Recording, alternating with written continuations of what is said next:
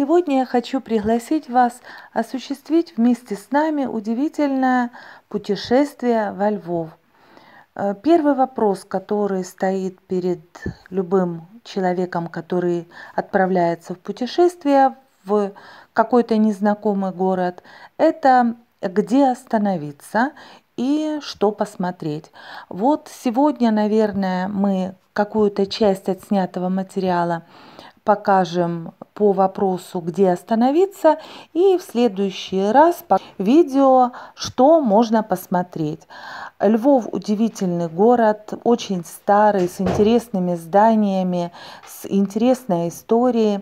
И когда мы отправлялись в путешествие, то смотрели какие-то гостиницы. Остановились на одной очень такой интересной гостинице, которая называется «Эдем» и находится практически в самой центральной части города, недалеко от железнодорожного вокзала.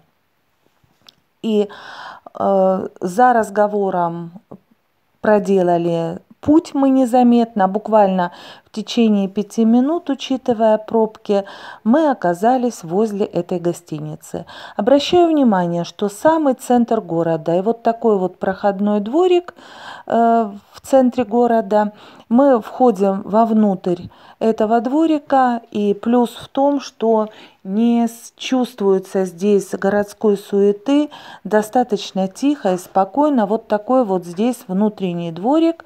Здесь и жилые дома живут люди, и вот перед нами находится здание гостиницы. Еще рано, еще нет поселения, поэтому мы вначале здесь оставляем вещи, идем на прогулку. Но прогулку мы покажем уже в следующем нашем видео, а сейчас немного так вот прервется наше видео и нет такой последовательности, но мы показываем вот холл, когда мы заходим, нас встречает приятный, приветливый персонал, все очень чистенько, комфортно. Э, в гостинице два выхода. Можно выйти на одну сторону центральной улицы, можно выйти на, с другой стороны. И очень удобно э, и быстро оказаться в другом совсем районе города. Мы заходим в комнату. У нас полулюкс. Он разделен Э, чисто символически как бы на две части. Э, и здесь была одна двуспальная кровать, но так как мы вдвоем с подругой, мы попросили, чтобы нам поставили еще одно дополнительное место. Э, здесь имеется кожаный диван, но он не раскладной. Имеются халаты, все атрибуты походной жизни и вот такая вот ванная, туалетная комната, которые совмещены тоже в одной вот комнате. Э, что здесь еще достаточно удобно и комфортно в этой гостинице? Это вот вид из окна тоже мы вам показываем. Он во внутренний дворик, поэтому ночью здесь э, спокойно не мешает э, звуки улицы. Мы пришли в ресторан. Здесь очень вкусная кухня. И поэтому мы решили отснять э, те блюда, которые нам удалось здесь попробовать. Э, первый наш обед здесь мы пробуем. У нас компот, борщ и вареники с картофелем. Очень вкусно. К вареникам, видите, нам поджаренный лук дали и сметану. Необыкновенно вкусно ну, я не думаю, что мы настолько были голодные, но проглотили все в один присест, э, все, что нам здесь принесли. Здесь же мы ужинали. На ужин получили вот такой витаминный салатик с яблоком, сельдереем и морковью.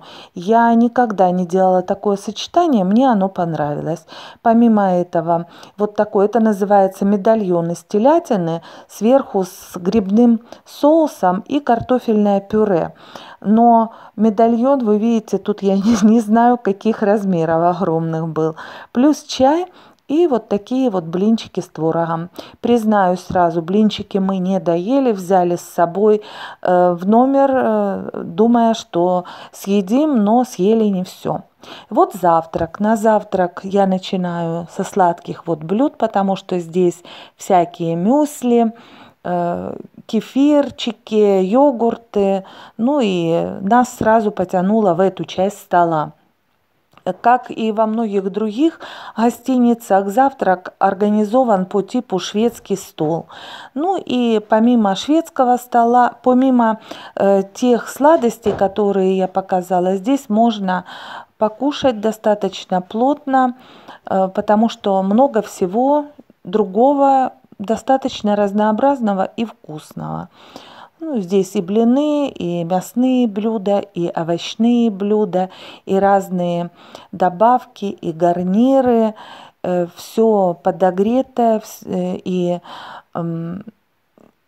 много различных дополнений к основным блюдам, которые предлагаются э, в качестве подгарнировок, в качестве разных соусов – ну, неудивительно, потому что гостиница пользуется спросом. Здесь от 9 и выше баллов стоит оценка. И поэтому свой прощальный ужин мы делали тоже в этом отеле.